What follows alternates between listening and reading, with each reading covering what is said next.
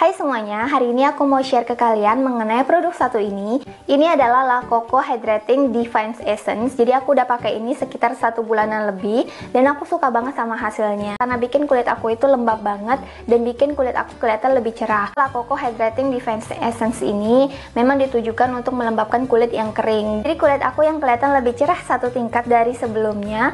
Menurut aku itu adalah bonus dari La Coco Hydrating Divine Essence ini. Cara menggunakan La Coco Hydrating Defense Essence ini juga mudah banget. Kalian tinggal pencet aja. Isinya itu berwarna putih dan ini wanginya enak. Nah, kalau ini adalah before dan after setelah aku menggunakan La Coco Divine Essence.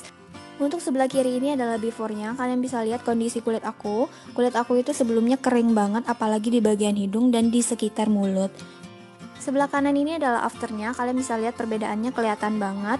Kulit aku jadi kelihatan lebih cerah, lebih sehat, lebih lembab, dan lebih glowing.